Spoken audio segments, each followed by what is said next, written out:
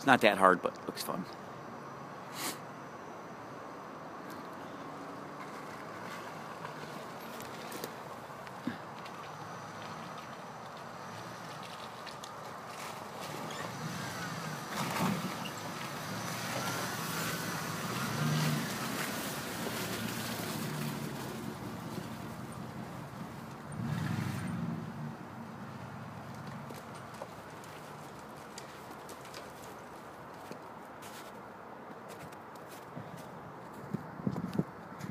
My turn.